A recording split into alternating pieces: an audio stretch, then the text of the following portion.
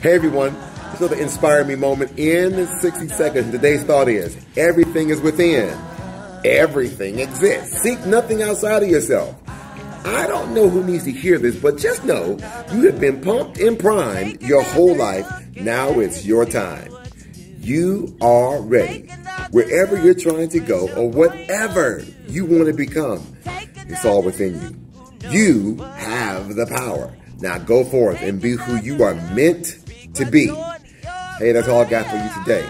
For all of your African inspired clothing, from casual to chic, check out D'IYANU. See the link in the description for 20% off right now. Now go out and make today absolutely amazing. As always, thank you for doing all the social media things such as like, comment, follow, subscribe, and share this message on all your media platforms. Even more, hit the bell notification so you never miss a video or an upload.